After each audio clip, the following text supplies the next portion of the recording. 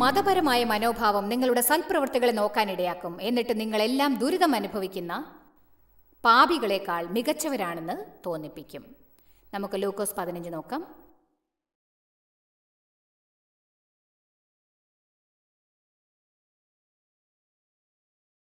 പിതാവെ ഈ പ്രഭാതത്തിൽ അങ്ങയുടെ വചനത്തിന് നന്ദി. ദൈവമേ ഞങ്ങളെ സ്വതന്ത്രരാക്കി സ്വാതന്ത്ര്യത്തോടെ ഇരിക്കാനാക്കണേ എന്ന് പ്രാർത്ഥിക്കുന്നു. ആർക്കെങ്കിലും മോശമായ മനോഭാവം ഉണ്ടെങ്കിൽ അതിൽ നിന്ന് രക്ഷപ്പെടാൻ സഹായിക്കണമേ. അഥവാ മോശമായ മനോഭാവം ഇല്ലെങ്കിൽ ഇനി ഉണ്ടാവാതിരിക്കാനും. യേശുവിന്റെ നാമത്തിൽ. ആമേൻ. ലൂക്കോസ് പതിനഞ്ചാം അധ്യായം ഒന്നാം വാക്യം. ചുങ്കക്കാരും അതുപോലെ തന്നെ പാപികളും പ്രത്യേകിച്ച് ദുഷ്പ്രവർത്തിക്കാരും എല്ലാം യേശുവിന്റെ വചനം കേൾക്കാൻ അവന്റെ അടുക്കൽ വന്നു. അപ്പോൾ പരീശന്മാരും ശാസ്ത്രിമാരും അവർ മതവിശ്വാസികളാണ് ഇവൻ പാപികളെ കൈക്കൊണ്ട് അവരോടുകൂടെ ഭക്ഷിക്കുന്നു എന്ന് പറഞ്ഞ് പിറുപിറുത്തുകൊണ്ടിരുന്നു. അതവർക്ക് ഇഷ്ടപ്പെട്ടില്ല. ഇത് കണ്ടില്ലേ? യേശു പാപികൾക്കായി വന്നു. അവൻ നമ്മുടെ ഹൃദയത്തിന്റെ വൈദ്യനാണ്. അവൻ പാപികൾക്കും രോഗികൾക്കും വേണ്ടിയാണ് വന്നത്. പക്ഷേ മതാനുയായികൾ പാപികളെ അവനിൽ നിന്ന് വളരെ അകലെ അകറ്റിവെച്ചു കാരണം അവർ മറ്റുള്ളവരെക്കാൾ തങ്ങൾ മികച്ചവരാണെന്ന് എപ്പോഴും കരുതിയിരുന്നു. സഹായം ആവശ്യമുള്ളവരെ സഹായിക്കാൻ അവർ ഒരിക്കലും സന്നദ്ധരായിരുന്നില്ല. നിങ്ങൾക്കാർക്കെങ്കിലും പോൾ സ്കാൻലോണിനെ അറിയാമോ എന്നെനിക്കറിയില്ല. അദ്ദേഹം ഇംഗ്ലണ്ടിൽ ശുശ്രൂഷ നടത്തിക്കൊണ്ടിരിക്കുന്നു.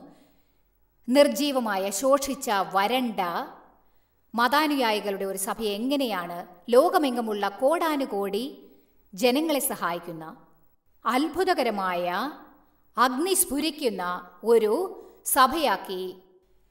മാറ്റിയത് എന്നതിനെക്കുറിച്ച് അദ്ദേഹം വിവരിച്ച് പറയുകയുണ്ടായി ഒരിക്കൽ. അദ്ദേഹം ചെയ്തതിലേക്ക് ഏറ്റവും പ്രയാസകരമായ ഒന്നായിരുന്നു അത് എന്ന് അദ്ദേഹം പറഞ്ഞു. കാരണം നമ്മൾ മാറ്റത്തിനായി ഇരുന്ന് പ്രാർത്ഥിക്കുമെങ്കിലും അത് നാം വാസ്തവത്തിൽ ആഗ്രഹിക്കുന്നില്ല. നമുക്ക് മാറ്റം ഉണ്ടാവണമെന്ന് കരുതും. പക്ഷേ നാം മാറ്റത്തിനായി പ്രാർത്ഥിക്കണമെന്ന് വിചാരിക്കുമെങ്കിൽ മാറ്റം പ്രായോഗികമാകുന്നത് നമുക്ക് സമ്മതിച്ചു കൊടുക്കാൻ സാധിക്കില്ല. കാരണം മാറ്റം ഉണ്ടായാൽ കടന്നു വരുന്ന ജനങ്ങളെല്ലാം നമ്മൾ എങ്ങനെയാണോ അങ്ങനെ ആയില്ലെങ്കിലോ എന്ന് നമുക്ക് ഒരു തോന്നലുണ്ടാവുന്നു അവർ ഒരുപക്ഷേ കുഴഞ്ഞു മറിഞ്ഞിരിക്കും. അവരിൽ ചിലർ ശരിയായി ഒരുപക്ഷെ ഡ്രസ്സ് ചെയ്തിട്ടുണ്ടാവില്ല. അവർ ശരിയായി പെരുമാറാൻ അറിയാത്തവരായിരിക്കും. ശരിയായി സംസാരിക്കുവാനും നേരസ്ഥരാണെന്ന് സ്വയം വിശ്വസിക്കുന്ന നമ്മോടൊത്ത് കൂട്ടുകൂടാൻ അവർക്ക് വേണ്ടത്ര യോഗ്യത ഉണ്ടാവില്ല. എന്നാലും യേശുവിന് അവരെ വളരെ ഇഷ്ടമാണ്. അങ്ങനെയുള്ളവരെ ദേവാലയത്തിലേക്ക് സ്വീകരിക്കുവാൻ അവൻ ആഗ്രഹിക്കുന്നു. ഒരു വിഭാഗക്കാർക്ക് മാത്രമായി കരുതിയ സ്ഥലത്തിരിക്കാൻ വേണ്ടിയല്ല. പകരം നമ്മൾ ഇരിക്കുന്നിടത്തിരിക്കാൻ ഞാൻ രാവിലെ ആദ്യം തന്നെ നിങ്ങളോട് പറഞ്ഞിരുന്നില്ല യേശുവിൽ വകഭേദങ്ങൾ ഒരിക്കലും ഉണ്ടാവില്ല. നാം അത് മനസ്സിലാക്കണം. ക്രിസ്ത്യാനികൾ എന്ന നിലയ്ക്ക് ആരെയും പുറന്തള്ളാനുള്ള അവകാശം നമുക്ക് ഇല്ല. നമ്മൾ ആരെയും പുറന്തള്ളരുത്. യേശു ആരെയും പുറന്തള്ളിയിട്ടില്ല. അവൻ എല്ലാവരെയും ചേർത്തു. മറ്റുള്ളവരെ ചേർക്കാനുള്ള നമ്മുടെ വട്ടത്തെ വിസ്തീർണമാക്കണം. പാവപ്പെട്ടവരുടെ കൂടെ പണക്കാർ ചേരരുത് എന്നതിന് കാരണങ്ങളില്ല. തനിച്ചുള്ളവർക്ക് വിവാഹിതരുമായി കൂട്ടുകൂടരുതെന്നില്ല. എല്ലാ നിറത്തിലുള്ളവർക്കും ഒരുമിച്ച് ജീവിക്കാനാവും. ക്രിസ്തുവിൽ നാം എല്ലാം ഒന്നാകുന്നു. ആൺപെൺ വ്യത്യാസമില്ല യഹൂദൻ ഗ്രേക്കൻ എന്നില്ല അടിമ സ്വതന്ത്രൻ എന്നില്ല. ഇങ്ങനെ നമുക്ക് ഇനിയും പറഞ്ഞുകൊണ്ടേ പോകാം. ഉയർന്നവരെന്നോ താഴ്ന്നവരെന്നോ ഇടത്തരക്കാരെന്നോ ഒന്നും തന്നെയില്ല. അവനില്ലാതെ നാം ഒന്നുമല്ല. നമ്മൾ ആരായാലും അത് അവനിലാണ്. പോൾ എന്നോട് പല കാര്യങ്ങളെക്കുറിച്ച് തമാശ കഥകൾ പറഞ്ഞിട്ടുണ്ടായിരുന്നു. അതിലൊന്ന് എനിക്ക് നല്ല ഓർമ്മയുണ്ട്. അത് പള്ളിയിൽ കൊണ്ടുവന്ന ഒരു സ്ത്രീയെക്കുറിച്ചുള്ളതായിരുന്നു. അവർ പരുക്കൻ സ്വഭാവക്കാരിയായിരുന്നു. അവർ കുറെ കാലം തെരുവിൽ ജീവിച്ചവളാണ്. അവൾ പള്ളിയിൽ വന്നത് ടാറ്റൂസ് കുത്തി ചീത്ത ഭാഷകളൊക്കെ ഉപയോഗിച്ചാണ്. ഒട്ടും തന്നെ മര്യാദയില്ലാത്ത പെരുമാറ്റവും. ശരി. അവൾക്കൊരിക്കലും ദൈവ സാന്നിധ്യം അനുഭവപ്പെട്ടില്ല. ഒരിക്കൽ ആരാധന നടന്നുകൊണ്ടിരിക്കെ ദൈവ സാന്നിധ്യത്തിന്റെ ശക്തി സഭയെ മുഴുവനും സമീപിച്ചു. ചിലർ ദൈവത്തിന്റെ ശക്തി കാരണം താഴെ വീണുപോയി. അപ്പോൾ ആരും പ്രതീക്ഷിക്കാതെ അവൾ കൂകി എന്തൊരു പ്രഹസനമാണ് ഇവരെല്ലാം ഈ കാണിക്കുന്നത്? അത് കേട്ട എല്ലാവരും വായ തുറന്നു. ഓ അടുത്തയാഴ്ച വീണ്ടും അവൾ തിരിച്ചു വന്നു. അദ്ദേഹം ആൾട്ടർ കോളിൽ എല്ലാവർക്കും വേണ്ടി പ്രാർത്ഥിക്കുമ്പോൾ അവളും അവിടെ ചെന്ന് നിന്നു. അദ്ദേഹം കരുതിയ അയ്യോ.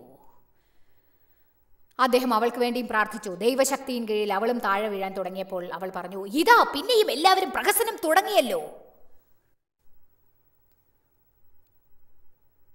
അവളുടെ മോശമായ ഭാഷയെക്കുറിച്ച് അവർക്ക് വളരെയധികം വിഷമമുണ്ടായിരുന്നു പക്ഷേ അവൾക്കൊരു രക്ഷണം നൽകേണ്ടതാണെന്ന് അവർക്കറിയാം. ഒരു സ്ത്രീ എന്റെ മീറ്റിംഗിൽ സാക്ഷി പറയാൻ പ്ലാറ്റ്ഫോമിൽ കയറി. അവളെ ആദ്യമേ എല്ലാവരും പുറത്താക്കിയതായിരുന്നു. മര്യാദകേടായി സംസാരിക്കുന്നവർ എനിക്ക് ആവശ്യമില്ലെന്ന് ഞാൻ പറഞ്ഞിട്ടുള്ളതാണ്. സാക്ഷ്യം പറഞ്ഞുകൊണ്ടിരിക്കുന്നതിനിടയ്ക്ക് അവൾ ശാപവാക്കുകളൊക്കെ പറയാൻ തുടങ്ങി.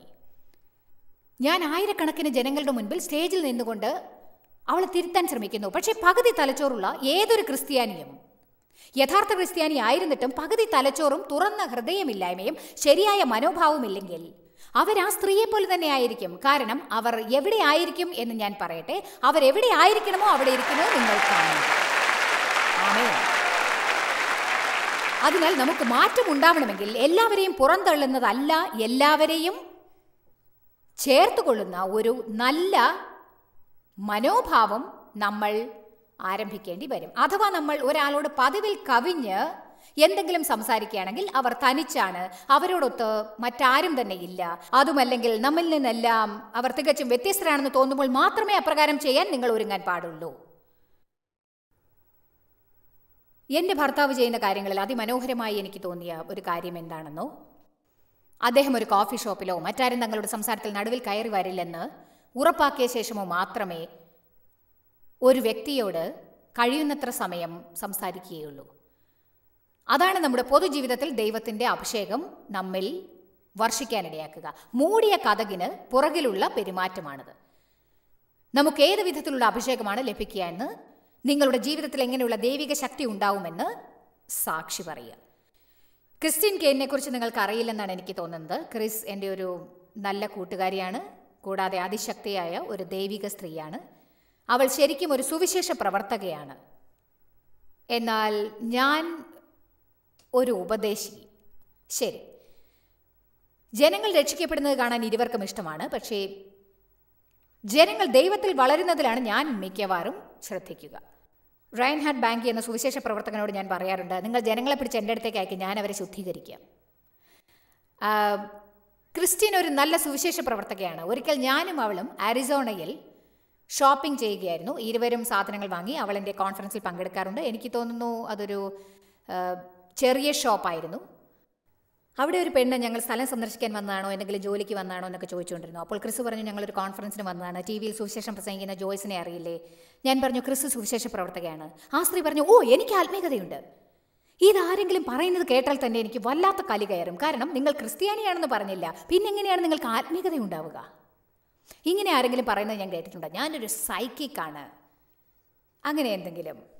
അങ്ങനെ ഞങ്ങൾ സംസാരം മയമുള്ളതാക്കാൻ ശ്രമിക്കുകയായിരുന്നു. അപ്പോൾ അവൾ ചീത്ത ഭാഷ ഉപയോഗിക്കാൻ ആരംഭിച്ചു. എനിക്കാണെങ്കിൽ അത്തരം സംസാരം കേൾക്കുമ്പോൾ തന്നെ വിറയ്ക്കും. കാരണം ഞാൻ വളർന്ന സമയത്ത് എന്റെ അച്ഛൻ ഉപയോഗിച്ചിരുന്ന വാക്കുകൾ കേട്ട് കേട്ട് എനിക്കത് സഹിക്കാനാവാത്ത ഒരു പരിധിയിൽ ഞാൻ എത്തിക്കഴിഞ്ഞിരുന്നു. അത്രയ്ക്ക് വെറുപ്പായിരുന്നു എനിക്ക് ആ ഭാഷയോട്. അവൾ വളരെ അസഹനീയമായ ഭാഷയിൽ പലതും പറഞ്ഞുകൊണ്ടിരുന്നു. ഇടയ്ക്ക് നാം ആരും കേൾക്കാൻ ഇഷ്ടപ്പെടാത്ത വഷളായ ഒരു വാക്കും അവൾ പറഞ്ഞു ഉടനെ എനിക്ക് ഹൃദയത്തിൽ എവിടെയോ അത് തറച്ചതായി തോന്നി. പിന്നീട് ചീത്ത ഭാഷ ഉപയോഗിച്ചതിന് അവൾ ഞങ്ങളോട് മാപ്പ് പറയാൻ തുടങ്ങി. നിങ്ങൾക്കറിയാമോ? അവൾ പറഞ്ഞു ദൈവത്തിനെല്ലാം അറിയാം. അവൾ പറഞ്ഞു ദൈവവും എന്തെങ്കിലും ഒരിക്കൽ ചീത്ത വാക്ക് ഉപയോഗിക്കും. അപ്പോൾ ഞാൻ കൗണ്ടറിലേക്ക് ചാഞ്ഞു. എന്നിട്ട് പറഞ്ഞു മോളെ ദൈവം ചീത്ത പറയാറില്ല. ആ സമയത്ത് എന്നിലുള്ള മതവികാരം സടകുടഞ്ഞെഴുന്നേറ്റു എന്ന് തന്നെ പറയാം. ഞാൻ ദൈവത്തിന്റെ ബഹുമാനം നിലനിർത്താൻ കഴിയുന്നത്ര ശ്രമിച്ചു നോക്കി. ഞാൻ പറഞ്ഞു ദൈവം ചീത്ത പറയാറില്ല. ക്രിസ്ത്യൻ എന്റെ അടുത്തേക്ക് വന്ന് പറഞ്ഞു പകരം ദൈവം അങ്ങനെ പറയുന്നവരെ സ്നേഹിക്കും.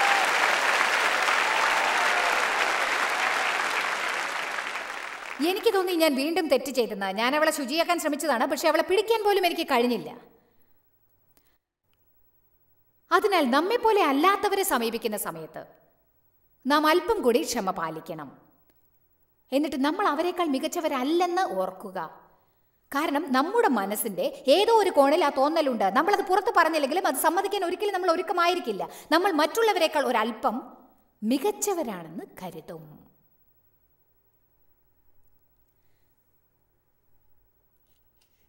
ഞാൻ നിങ്ങളെക്കാൾ ഒരല്പം മുകളിലാണ്. നിങ്ങൾ അങ്ങനെയല്ല.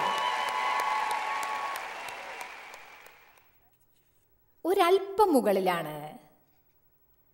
നിങ്ങളെക്കാൾ. യേശു പരീശന്മാരും മതപുരോഹിതന്മാരും എങ്ങനെയാണ് പെരുമാറുന്നത് എന്ന് കണ്ടപ്പോൾ ജനങ്ങൾ അങ്ങനെ പെരുമാറുമ്പോൾ അവർക്ക് ബന്ധങ്ങളില്ലാത്ത മതമാണ് ഉള്ളത്.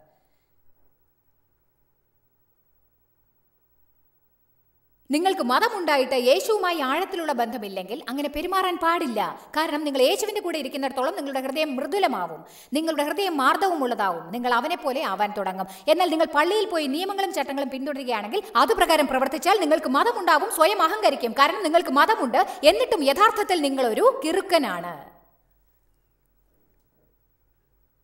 കിറുക്കൻ.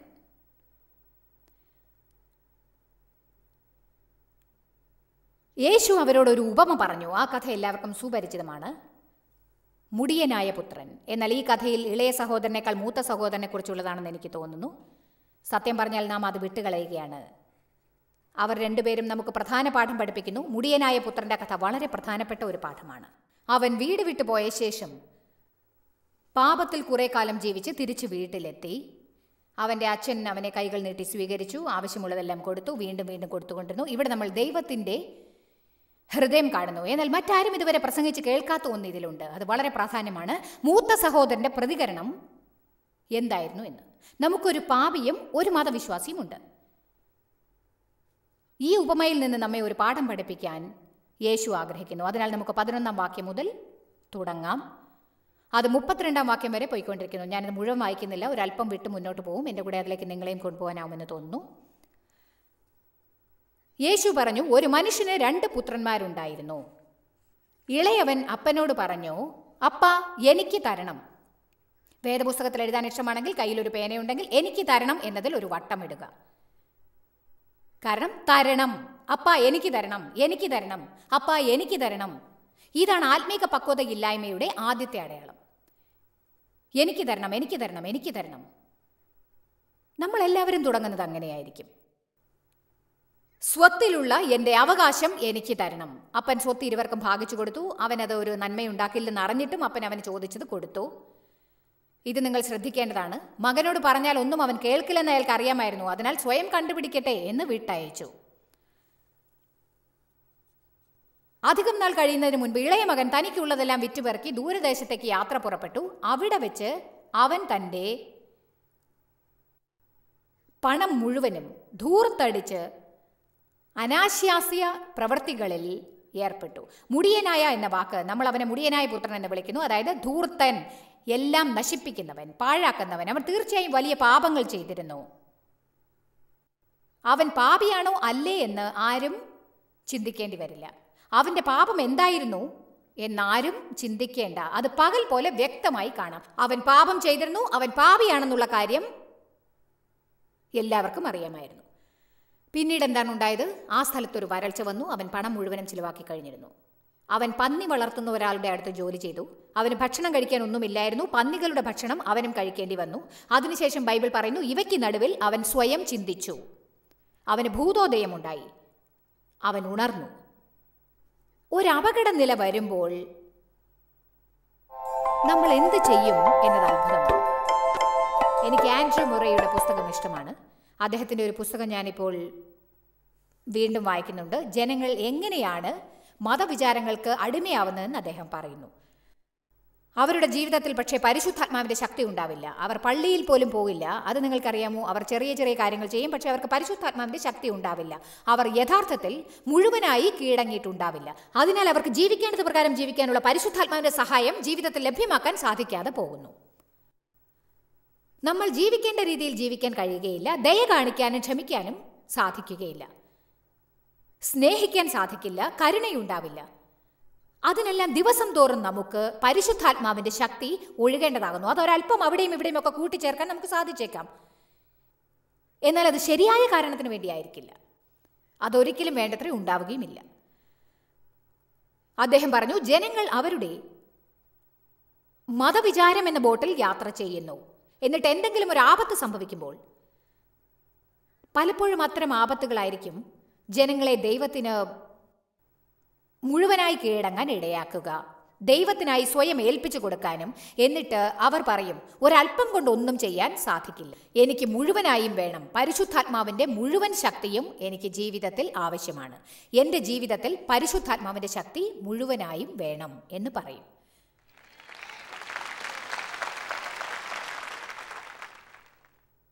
പതിനേഴാം വാക്യം അവന് ഭൂതോദയം ഉണ്ടായപ്പോൾ അവൻ പറഞ്ഞു എന്റെ അപ്പന്റെ വീട്ടിലെ വേലക്കാർക്ക് എന്നേക്കാൾ നല്ല ജീവിതമുണ്ട്. ഞാനിവിടെ വിശപ്പ് കൊണ്ട് മരിക്കുന്നു. ഞാൻ ഇവിടെ നിന്ന് എന്റെ അപ്പന്റെ അടുത്തേക്ക് പോകും. എന്നിട്ട് പറയും അപ്പാ ഞാൻ അപ്പനോടും സ്വർഗത്തോടും പാപം ചെയ്തിരിക്കുന്നു. പത്തൊൻപതാം വാക്യം നിങ്ങൾ പ്രത്യേകം ശ്രദ്ധിക്കണം. കാരണം എനിക്കിത് ഇഷ്ടമാണ്. ഈ രണ്ട് വാക്കുകൾക്കും വട്ടമിടാൻ നിങ്ങൾ തയ്യാറാവുകയാണല്ലോ അല്ലേ? ഇനി അപ്പന്റെ മകനെന്ന് വിളിക്കാൻ ഞാൻ യോഗ്യനല്ല. പക്ഷെ ഇനി എന്നെ ആക്കേണമേ.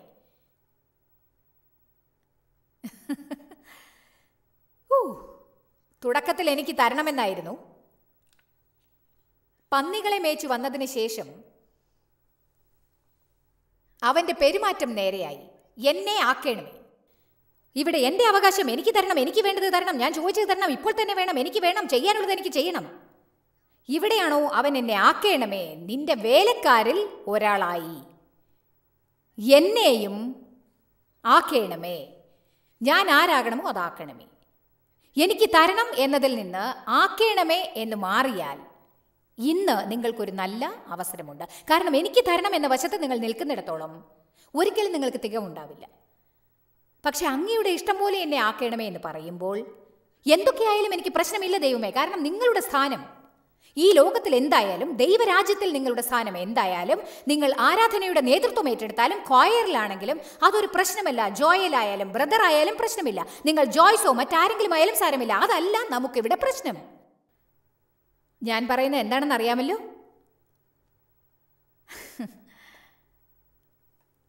ദൈവം നിങ്ങളോട് പറഞ്ഞത് നിങ്ങൾ ചെയ്തുകൊണ്ടിരിക്കുന്നത് വരെ നിങ്ങൾക്ക് ഒരു വിധത്തിലും പ്രശ്നമുണ്ടാവില്ല. അതാണ് ഏറ്റവും പ്രധാനം. എല്ലാവരും ഡേവിനെക്കുറിച്ച് ആശ്ചര്യപ്പെടുന്നു. ഡേവ് എങ്ങനെയാണ് നിങ്ങളുടെ കാര്യത്തിൽ ചെയ്തുകൊണ്ടിരിക്കുന്നത്? ഡേവ് നന്നായി കൈകാര്യം ചെയ്യുന്നുണ്ട്. കാരണം എനിക്ക് തരണം എന്നതിൽ നിന്ന് അദ്ദേഹം പണ്ടേ വളരെ ദൂരെയാണ്. ഞാൻ എങ്ങനെയാവണമോ അതാക്കണമേ എന്നതാണ് അദ്ദേഹം. ദൈവം പ്രസംഗിക്കാൻ എന്നെ തിരഞ്ഞെടുത്തപ്പോൾ തുടക്കത്തിൽ ഡേവിന് ഒരല്പം പ്രയാസം തോന്നിയിരുന്നു. ആ വരം അദ്ദേഹത്തിന് ഇല്ലായിരുന്നു. കാരണം അത് കൂടുതൽ അസാധാരണമായിരുന്നു. ഇന്നത്തേക്കാൾ അന്ന് സ്ത്രീകൾ അതിനിറങ്ങുക ദുർലഭമായിരുന്നു. അത് അസാധാരണമായിരുന്നു. മുപ്പത്തി അഞ്ച് വർഷം മുൻപ്. വളരെ അസാധാരണം. ദൈവവേല ചെയ്യുന്ന സ്ത്രീകളുടെ എണ്ണം വിരലിൽ എണ്ണാവുന്നത്രേ ഉണ്ടായിരുന്നുള്ളൂ. പൊതുപ്രവർത്തനത്തിൽ ഇറങ്ങുന്നവർ ഒന്ന് രണ്ട് പേർ മാത്രം. ദേവ് എനിക്കറിയാവുന്ന ദൈവദാസന്മാരിൽ മികച്ചവനാണ്. കാരണം അദ്ദേഹം ഒടുവിൽ തീരുമാനമെടുത്തു. അതിനേഴാനും ആഴ്ചകളെ വേണ്ടി വന്നുള്ളൂ. ചില ആഴ്ചകൾ മാത്രം മതിയായിരുന്നു. ഡേവ് പറഞ്ഞു ഞാൻ ഓർക്കുന്നു എനിക്ക് മിനിസ്ട്രിയിൽ ചേരാൻ ഇഷ്ടമല്ല. ഞാൻ അതല്ല ചെയ്യാൻ ആഗ്രഹിക്കുന്നത്. ഞാൻ ദൈവം എന്നോട് പറഞ്ഞു ഞാൻ നിന്നോട് ചെയ്യാൻ പറഞ്ഞ് നീ ചെയ്യുക. മറ്റു കാര്യങ്ങളെക്കുറിച്ച് നീ വിഷമിക്കേണ്ട കാര്യമില്ല. ഡേവ് എന്നോട് അത് ചെയ്യരുത് എന്ന് പറഞ്ഞിട്ടില്ല. അതല്ല അദ്ദേഹത്തിന് ചെയ്യാനുള്ളത് എന്നാണ് എന്നോട് പറഞ്ഞത്. മൂന്നാഴ്ചകളെ കഴിഞ്ഞിരുന്നുള്ളൂ അദ്ദേഹം തിരിച്ചു വന്ന് എന്നോട് പറഞ്ഞു നിന്നെ ഇതിനായി അഭിഷേകിച്ചിരിക്കുന്നതായി ദൈവം കാണിച്ചു തന്നു. അതുകൊണ്ട് ഞാൻ നിന്റെ കൂടെ ഉണ്ടാവും. എന്ത് തന്നെയായാലും നിന്നോടൊത്തുണ്ടാവും എന്ന് പറഞ്ഞു. ദൈവം നിന്നിലൂടെ പ്രവർത്തിക്കാൻ ആഗ്രഹിക്കുന്നു. ഞാൻ നിന്നോടൊത്തുണ്ട് അദ്ദേഹം എന്റെ കൂടെ നിന്നു. എന്റെ കൂടെ ഉണ്ടായിരുന്നു. അദ്ദേഹം മീറ്റിങ്ങുകളിൽ ഇരുന്നു. ഞാൻ പറയുന്നതെല്ലാം വീണ്ടും വീണ്ടും കേട്ടോ. ദൈവിന് തന്റെതായ വരങ്ങളുണ്ട് കഴിവുകളുണ്ട്. ഈ മിനിസ്ട്രിയിലെ പണമിടപാട് കൈകാര്യം ചെയ്യുന്നത് അദ്ദേഹമാണ്. വിശ്വസിക്കാവുന്നതിനേക്കാൾ നന്നായി നോക്കുന്നു. ഞങ്ങൾ ഒരു പൈസ പോലും പലിശയായി കൊടുത്തിട്ടില്ല. ഒരു പൈസ പോലും ഞങ്ങൾക്ക് പലിശ കൊടുക്കേണ്ടി വന്നിട്ടില്ല. ഈ മിനിസ്ട്രിയിലുള്ളതെല്ലാം ഞങ്ങൾ പണം കൊടുത്ത് വാങ്ങിയതാണ്. ഞാൻ അഹങ്കാരത്തോടെയല്ല പറയുന്നത്. ഇങ്ങനെ പറയുന്നത് തെറ്റാണെന്ന് പറയുന്നില്ല. ജനങ്ങൾ പണം കടം വാങ്ങുന്നു. ആ കാര്യത്തിൽ ഡേവിന് ഒരു പ്രത്യേക വരമുണ്ടെന്നാണ് ഞാൻ പറഞ്ഞത്. ഞാൻ ആരാണോ അതാവാൻ എന്നെ അനുവദിച്ചു. അദ്ദേഹം ആരാവണമോ അതിന് ഞാനും. കാരണം ഞങ്ങൾ ഇരുവരും പറഞ്ഞു എന്നെ ആക്കേണമേ. അതുതന്നെയാണ് ഇവിടെ ഓസ്റ്റിന്റെ കുടുംബത്തിലും സംഭവിച്ചിരിക്കുന്നതെന്ന് എനിക്ക് ഉറപ്പാണ്. കാരണം അവർ എല്ലാവരും പറഞ്ഞു ദൈവമേ ഞാൻ ആരാവണമോ എന്നെ ആക്കേണമേ. നിങ്ങൾ ഓരോരുത്തരും ഇന്നത് പറയണം. ദൈവമേ ഞാൻ ആരാവേണമോ അതാക്കണമേ. അല്ലാതെ എനിക്ക് ഇത് വേണം എനിക്ക് അത് വേണം എനിക്ക് ഇത് വേണം അത് വേണം അങ്ങ് എനിക്ക് തന്നില്ലെങ്കിൽ മറ്റുള്ളവർ സ്നേഹിക്കുന്നത് പോലെ അങ്ങനെ സ്നേഹിക്കുന്നില്ല എന്നെ ഇഷ്ടപ്പെടുന്നില്ല എന്നൊക്കെ പറയരുത്. ദൈവം കേൾക്കാൻ ആഗ്രഹിക്കുന്നത് ഇതാണ്. ദൈവമേ ഞാൻ ഇതാ അങ്ങ് ആഗ്രഹിക്കുന്നത് പോലെ എന്നെ ആക്കണമേ. ഞാൻ അങ്ങയോട് എന്ത് തന്നെ ചോദിച്ചാലും അത് നേരായതല്ലെങ്കിൽ ദൈവമേ എനിക്കത് നൽകരുതേ. ആമേ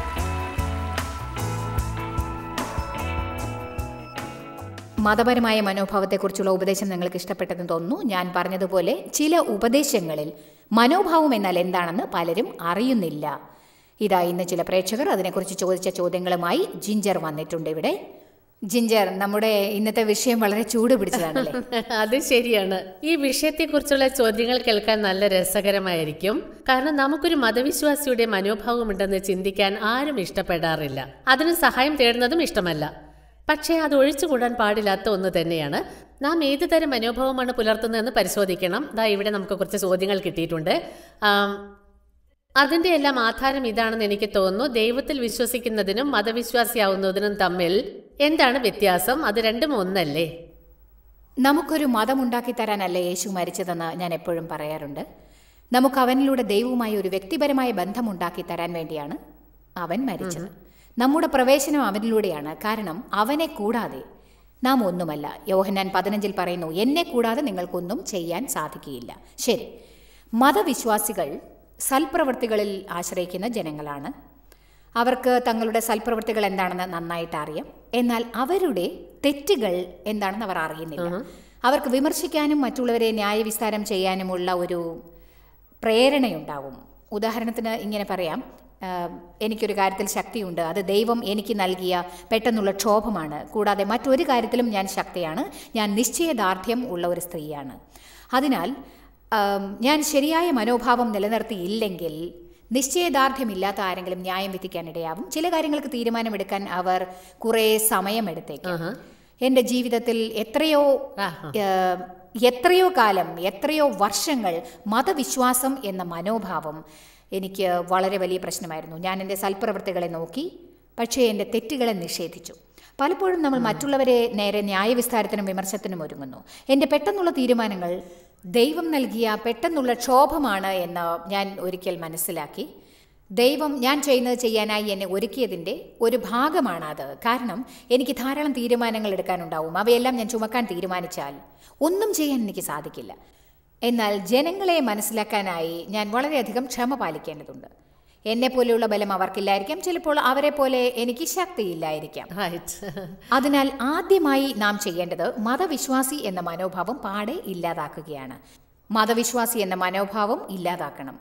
നമ്മൾ ബൈബിൾ വായിച്ചു നോക്കിയാൽ യേശു മതവിശ്വാസികളെ തെറ്റിദ്ധരുത്തിയിട്ടുണ്ട് യേശു പറഞ്ഞു വെള്ള തേച്ച ശവക്കല്ലറുകളെ നിങ്ങൾ വെറും നിർജീവ അസ്ഥികൾ അത്രേ.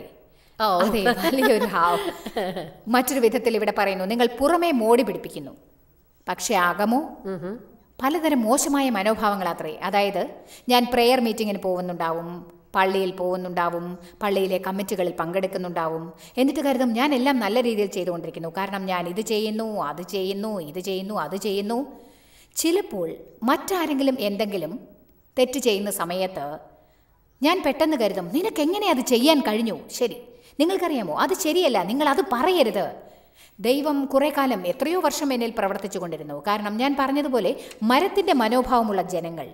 തങ്ങൾക്ക് അതുകൊണ്ടെന്ന് അംഗീകരിക്കില്ല. കാരണം മതവികാരങ്ങളുടെ മനോഭാവത്തിന്റെ പേര് അഹങ്കാരമാണ്. എനിക്കിതെല്ലാം ചെയ്യാം എന്നതാണ് അഹങ്കാരം. ദൈവത്തെ കൂടാതെ നാം ഒന്നുമല്ല എന്ന് നാം പഠിക്കേണ്ടതാണ്. നമുക്കെല്ലാം ദൈവത്തിൽ ചെയ്യാൻ സാധിക്കും അവനിലൂടെയും. എന്നാൽ അവനെ കൂടാതെ നാം ഒന്നുമല്ല. നിങ്ങൾ നിൽക്കുന്നുണ്ടെന്ന് ചിന്തിക്കുന്ന ശ്രദ്ധിക്കുക. ഇല്ലെങ്കിൽ നിങ്ങൾ വീഴുമെന്ന് ബൈബിളിലുണ്ട്. മറ്റുള്ളവരെ നോക്കി നാം ഇങ്ങനെ ചിന്തിക്കുന്ന നിമിഷം നിനക്കത് ഒരിക്കലും ചെയ്യാനാവില്ല. അഥവാ നീ അതെങ്ങനെ ചെയ്യും? നമ്മൾ ശരിക്കും താഴ്മ പഠിക്കേണ്ട ഒരു ഘട്ടത്തിലാണ് എന്ന് മനസ്സിലാക്കാൻ വൈകരുത്. അഹങ്കാരം ഒരിക്കലും ഞാൻ അഹങ്കാരിയാണെന്ന് പറയില്ല. അതിനാൽ മതവിശ്വാസികളായവർക്ക് ഇങ്ങനെ പറയാൻ പ്രയാസമായിരിക്കും. ഞാൻ വിമർശിക്കുന്നു ന്യായം വിധിക്കുന്നു. നിയമസിദ്ധാന്തക്കാരനാണ് കഠിനഹൃദയനാണ് മതവിശ്വാസിയാണ്. നിങ്ങൾ സ്വന്തം പ്രവർത്തനങ്ങൾ ചായുകയാണ്. ദൈവത്തിൽ മുഴുവനായി ചായുന്നില്ലെന്ന് സമ്മതിക്കാൻ തയ്യാറാവണം. ഇത് കുറേ കാലമായി ക്രിസ്ത്യാനികളെ ജീവിക്കുന്ന നമുക്ക് ഓരോരുത്തർക്കും വളരെ കഠിനമായ ഒരു കാര്യമായിരിക്കുമെന്ന് കരുതുന്നില്ലേ? ചെറുപ്പം മുതൽ നമ്മൾ ക്രിസ്ത്യാനികളാണ്. നമ്മൾ ക്രിസ്തുവിനോട് കൂടെ നടന്നിട്ടുള്ളവരാണ്. എല്ലാം ഞാൻ നിയന്ത്രണത്തിലാക്കിയിട്ടുണ്ട്. പക്ഷേ മറ്റുള്ളവർ അങ്ങനെയല്ല. അവർക്ക് സഹായം വേണമെന്ന് നാം കരുതാറുണ്ട്. അതവർക്ക് പുതിയതാണ് എന്നും മറ്റും അല്ലേ? അത് എത്ര പെട്ടെന്നാണ് സംഭവിക്കുക എന്ന് ഞാൻ കണ്ടിട്ടുണ്ട്. സത്യം പറയുകയാണെങ്കിൽ അത് രണ്ട് വിധത്തിലും സംഭവിക്കാം. ഏത് വിധത്തിലായിരുന്നാലും ശരി തെറ്റായ ദിശയിൽ നമുക്കെല്ലാം അത് കൈകാര്യം ചെയ്യും ദൈവത്തോടു കൂടി ഒരാൾ കൂടുതൽ നടക്കുന്നത് വരെ അവർ കൂടുതൽ താഴ്മയുള്ള അതെ അതൊരു നല്ല പ്ലാനാണ് അതിനാൽ ദൈവത്തിൽ ശരിയായി വളരുന്നുണ്ടെങ്കിൽ നിങ്ങൾ അവനോടൊത്ത് കൂടുതൽ നടക്കും തോറും അവന്റെ സ്വഭാവം കൂടുതൽ പഠിക്കും. നമ്മൾ കൂടുതൽ പഠിക്കുമ്പോൾ അവന്റെ സ്വഭാവം ജനങ്ങളോട് കാണിക്കണം എന്നവൻ ആഗ്രഹിക്കുന്നു. അവന്റെ ക്രിയകളും അവനെ കൂടാതെ നമുക്കൊന്നും ചെയ്യാനാവില്ലെന്ന് നാം കൂടുതൽ അറിയും. എന്നാൽ നിങ്ങളത് പഠിച്ചില്ലെങ്കിൽ അപ്പോൾ അതെ നിങ്ങൾ കൂടുതലായി നിയമങ്ങളും ചട്ടങ്ങളും പിന്തുടർന്നുകൊണ്ടിരുന്നാൽ പള്ളിയിൽ കൂടുതൽ കാലം പോയതിന്റെ ഹാങ്ങർ ഉണ്ടെങ്കിൽ പ്രാർത്ഥനാ സമ്മേളനങ്ങളിൽ കൂടുതൽ പങ്കെടുക്കുമ്പോൾ ഇവയെല്ലാം നിങ്ങൾ ചെയ്യുകയാണെങ്കിൽ നിങ്ങൾ കൂടുതൽ ന്യായവിസ്താരം ചെയ്യുന്നവരാകും. ഞാൻ അനുഭവിച്ചിട്ടുള്ള പല വേദനകളിൽ മോശമായത് മതപ്രവർത്തകരായ കുറെ ജനങ്ങളിൽ നിന്നാണ് എന്ന് പറയാൻ എനിക്ക് മടിയില്ല. പക്ഷേ അവർക്ക് ദൈവികതയില്ലായിരുന്നു. ഇവയ്ക്ക് തമ്മിൽ ധാരണ വ്യത്യാസം അതെ ശരിയാണ്. ആരുനും ഘോഷനും എങ്ങനെയാണ് സ്വാതന്ത്ര്യത്തിനും നിയമസിദ്ധാന്തത്തിനും തമ്മിൽ സമീകൃതത പാലിക്കുന്നത് എന്നറിയണം. ശരി അത് ഈ ലോകത്തിലെ ഏറ്റവും വലിയ വെല്ലുവിളികളിൽ ഒന്നാണ് അതിന് ഉത്തരം പറയാൻ പതിനഞ്ച് സെക്കൻഡ്സും മതിയാവില്ല അതിന് നമുക്ക് നാളെ കുറച്ച് സമയം എടുക്കാം അല്ലേ? അത് നാളേക്ക് നീട്ടിവെക്കുന്നത് തന്നെയാണ് നല്ലത്. കാരണം വിശുദ്ധരാവുക പക്ഷെ നിയമസിദ്ധാന്തം പാടില്ല എന്നതാണ് ഈ ലോകത്തിലെ ഏറ്റവും വലിയ വെല്ലുവിളികളിൽ ഒന്നെന്ന് എനിക്ക് തോന്നുന്നു. അതിനാൽ നമുക്ക് നാളേക്ക് മാറ്റിവെക്കാം ഇന്നത്തെ പ്രസംഗം നിങ്ങൾക്ക് ഇഷ്ടപ്പെട്ടിരിക്കുമെന്ന് കരുതുന്നു. ഇന്ന് നിങ്ങൾ ഇന്ന് കേട്ട പ്രോഗ്രാമിന്റെ കൂടെ എന്തെങ്കിലും ഒരു ഓഫർ നൽകാൻ ഞങ്ങൾ എപ്പോഴും ശ്രദ്ധിക്കാറുണ്ട്. ജോയ്സ് മേയറുടെ ശുശ്രൂഷ കേന്ദ്രത്തിൽ നിങ്ങൾ അറിഞ്ഞതിനേക്കാൾ നിങ്ങൾ ഞങ്ങൾക്ക് വളരെ പ്രിയപ്പെട്ടവരാണ്. ലോകം മുഴുവൻ ഈ ശുശ്രൂഷ കേന്ദ്രത്തെ നടത്താൻ സഹായിച്ചതിൽ എല്ലാവർക്കും വളരെ നന്ദി.